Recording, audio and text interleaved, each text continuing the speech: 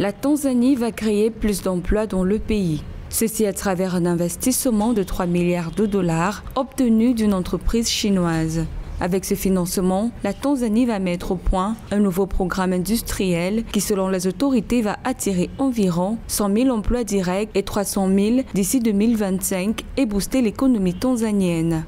La Tanzanie, comme beaucoup de pays africains, souffre de ce qu'on appelle l'emploi informel. Aujourd'hui, les taux d'emploi formel en Tanzanie ne dépassent même pas 20%. Ce qui veut dire qu'en réalité, le plus grand problème aujourd'hui, c'est essayer de formaliser les emplois existants et bien sûr euh, industrialiser le reste. Bien sûr, avec beaucoup d'argent euh, qui entre sur un secteur bien précis, bien géré, il sera possible d'avoir un coup de pouce. Le plus important, c'est de savoir choisir la bonne gouvernance et s'assurer que les choses qui sont faites sont faites correctement.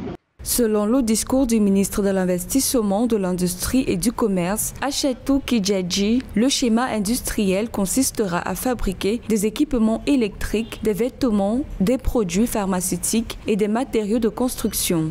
Les secteurs les plus importants pour un pays comme la Tanzanie, c'est formaliser le secteur industriel agricole, euh, l'élevage et la pêche pour être en mesure d'avoir des cycles courts sur la nourriture, ce qui est quelque chose qui peut être poussé par l'économie domestique, mais également développer les exportations. Notons qu'à l'heure actuelle, la Tanzanie compte plus de 62 000 petites industries qui ajoutent de la valeur aux matières premières extraites en interne. Des experts indiquent également que la Tanzanie est l'un des pays d'Afrique subsaharienne qui a connu une croissance soutenue en raison de son intention délibérée de maximiser la croissance de sa production industrielle.